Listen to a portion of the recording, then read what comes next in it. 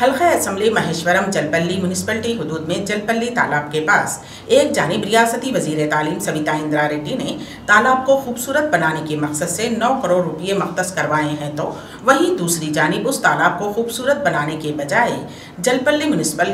की जानब से मजीद बदसूरत बना दिया गया है और उस तालाब की रोड पर कचरे का अंबार पड़ा हुआ है। म्यूनसिपल स्टाफ को चाहिए कि उस कचरे को जल्द से जल्द साफ़ करवाया जाए, क्योंकि उसकी वजह से आसपास की आवाम को भी काफ़ी तकालीफ का सामना है। एक जानब वज़ीर सविता इंदिरा रेड्डी जलपल्ली को खूबसूरत बनाने की कोशिश कर रही हैं तो दूसरी जानब म्यूनसिपल स्टाफ की लापरवाही की वजह से वहाँ की हालत अबतर होती जा रही है।